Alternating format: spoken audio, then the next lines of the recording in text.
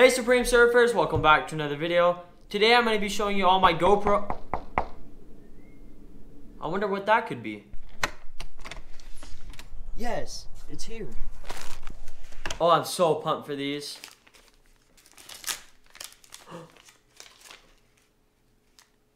Oh my gosh. You hooked me up with the stickers too. Thank you so much, Wake Mann. Here's the first item. Wake Mann mask. Let's get the other thing open. All right, and now for the second item. I'm so stoked to see it. Oh, it's, it looks so good. Oh, I love it. Check that out. That is one amazing looking t-shirt. In fact, what the heck am I still doing in it? In this? Let's get changed into this. Holy moly, check this out. This is one awesome shirt. The fit's perfect on it. Oh, it's awesome. Special thanks to Wake Mann for sending me this stuff. Um, I want a giveaway. Um, also, the video I'm doing today is um, based off of one of his videos. So thank you so much. Make sure to go check out Wake Mann's channel down below. And let's get right on with the video. As you can see right in front of me, I have a few things laid out right here. Starting out with the first thing. This is a suction cup mount. Uh, it's a really, really, really strong suction cup. You put it on a surface like a boat and it works. Um, it goes on perfect to the side of my boat. You lock it down and you can put a few pieces off to the side. A really good angle like this.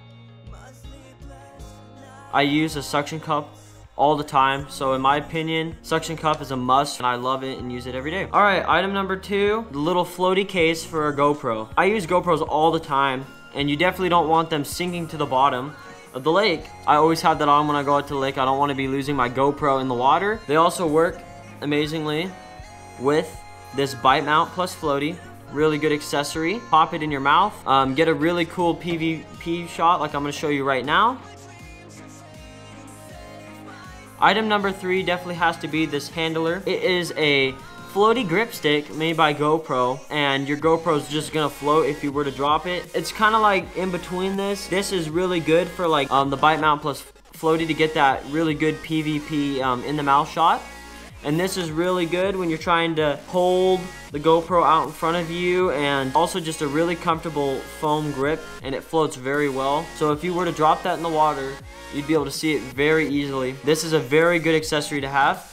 Let's move on. Accessory Number four, wait, that's three fingers. Accessory number four definitely has to be GoPro batteries. Now, if you're doing GoPro shooting like myself, you need a lot of batteries to get through a whole day of recording. Four extra batteries for the GoPro Hero 8, four extra batteries for the GoPro Hero 9. Batteries are extremely important. I recommend you get the GoPro branded ones. So obviously, um, I love using GoPros. I use them for vlogging, all my action shots. I think GoPros are so good that you don't really need another camera. And the only thing that I could complain about with the GoPro is the low light. The low light is not very good, um, but that's come to be expected. Otherwise, GoPros are amazing. I love them. The audio is pretty darn good on them, and the durability and compactness really make it a camera that I love carrying around all the time. So I use two GoPros to get my angle shots. All right, number six has to be this GoPro El Grande selfie stick. As you can see, it's a pretty big stick as it is, but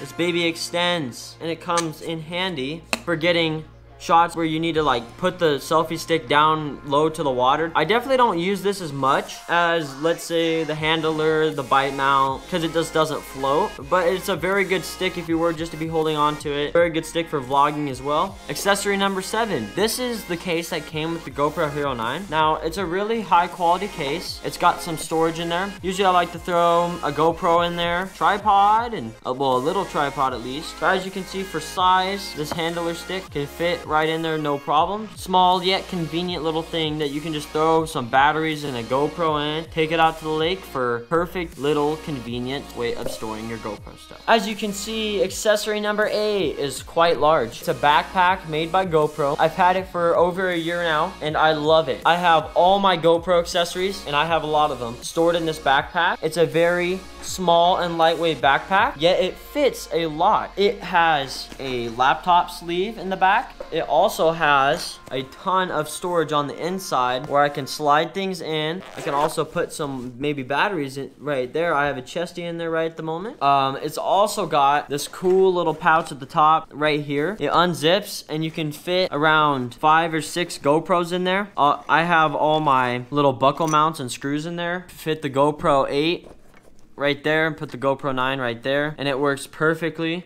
Accessory number nine is this larger storage unit compared to this. As you can see, the size difference right there. I really like this for being able to throw just little things in. This is where I keep all my other GoPro accessories and it fits perfectly in the backpack. I can put this in there, this in there, and this happens to be the only non-GoPro branded accessory that I have. I highly recommend getting GoPro accessory, uh, accessories or well-known brand names. This came out of like a $25 kit. I don't think a single accessory survived and I was never brutal to them or use them inappropriately. So I highly re recommend getting the quality that GoPro provides you um, with their accessories. So, so far I've shown you um, a lot of the accessories that I use to film my videos on the water. But how do I edit my videos? I'm going to be showing you the editing software I use as well as what I store my footage on. Let's show you that right now. So as you can see, um, I use a 2015 Mac to edit my videos. It works pretty well. The thing is, I wish it had a little bit more RAM as it only has 8 gigabytes. So it takes a while for um, the computer start the editing software, which happens to be DaVinci Resolve 16. I really like this um, computer and um, editing software. I'm really lucky that we got this Mac a few years ago. It, it works pretty well. DaVinci Resolve 16 is a great um, free editor. Definitely a very advanced and hard one as well. I've only edited a few videos on it. So far, I really like it. So I'm to open it up and show you kind of how I put my videos together a little bit.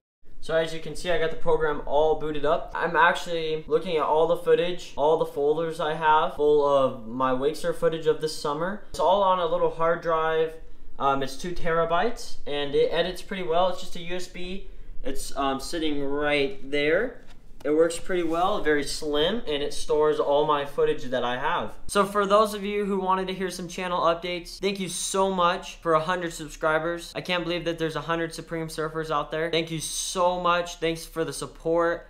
Thanks for everything. You've made really made YouTube a fun journey for me, and I'm definitely just the first milestone in the journey. I still have a long ways to go, um, but thank you so much. YouTube's really just been a positive thing for me. I've met a lot of friends. You guys all support me and inspire me to keep on going. But I'm really excited to get some videos for you guys, edit them, and really excited to share my experiences with you this summer. With all that said, thank you so much for watching, and remember, never stop surfing.